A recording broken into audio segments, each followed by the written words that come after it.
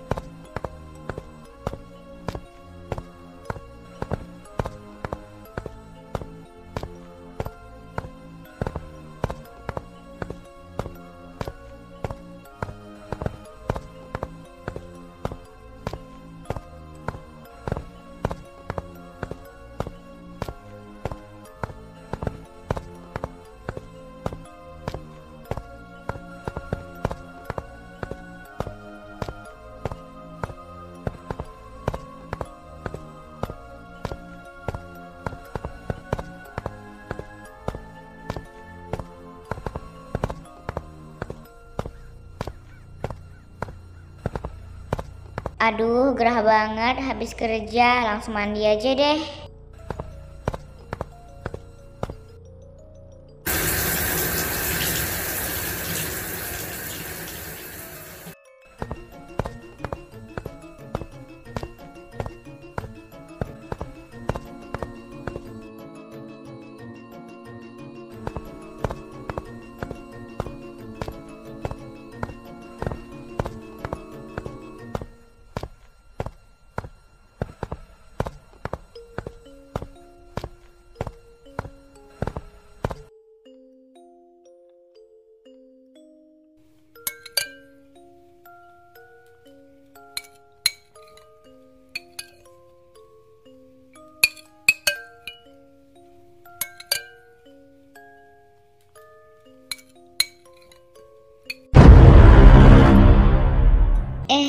Kok balonnya jalan sendiri? M mungkin perasaanku aja.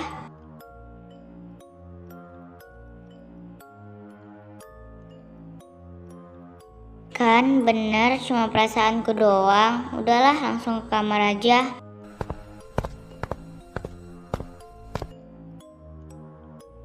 Kan benar balonnya masih di sini. Udah deh, masuk kamar aja.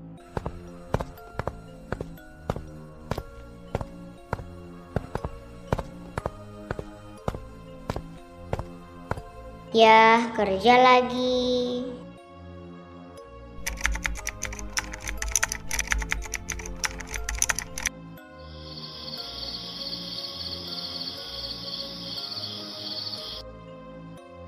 Huh, akhirnya siap juga semua pekerjaan dan besok libur. Ye, besok libur, jadi bisa santai. Aduh, ngantuk tidur deh.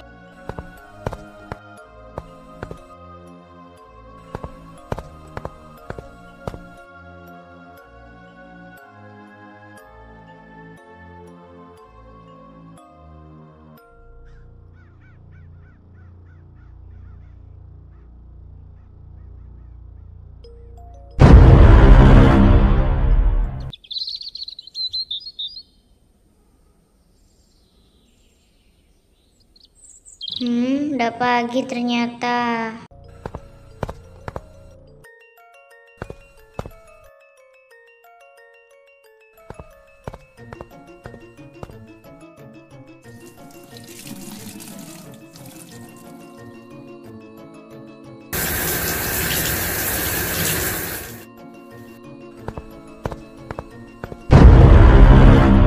Apaan sih ini balon?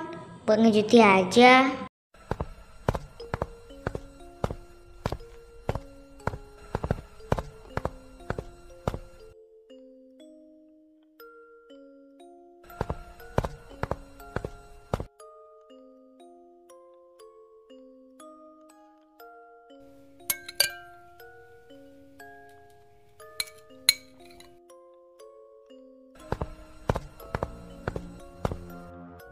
Aduh, bosen banget. Mau ngapain ya? Halo Siska, sini yuk nongkrong sama aku di cafe biasa. Oh iya iya iya, aku ke sana ya.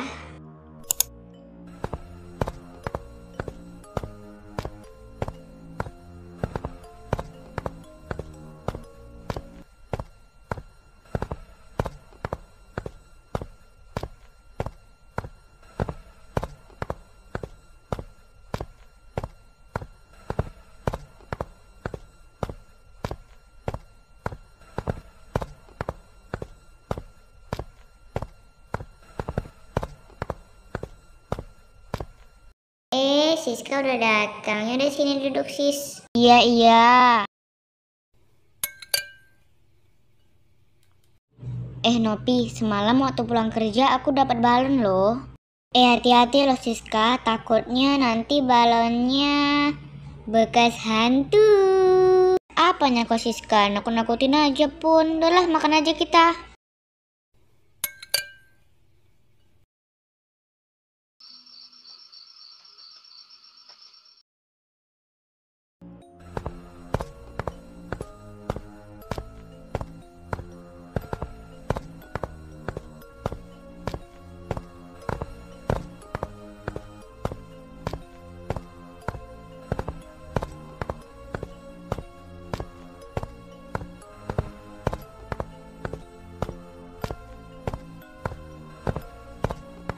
Aduh, malas sekali aku mandi. Nonton TV aja deh.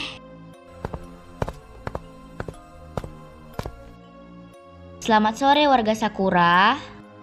Di sore dini hari telah ditemukan jasa anak laki-laki berinisial A. Ia ditemukan bersama balon kesayangannya. Ia ditemukan dengan kondisi berlumuran darah. Diduga ia jatuh dari ketinggian karena mengejar balonnya. Diingatkan kembali kepada orang tua di rumah untuk mengawasi anaknya lebih ketat. Sekian dari Sakura TV, terima kasih. Eh, balonnya? Jangan-jangan... Siapa kamu?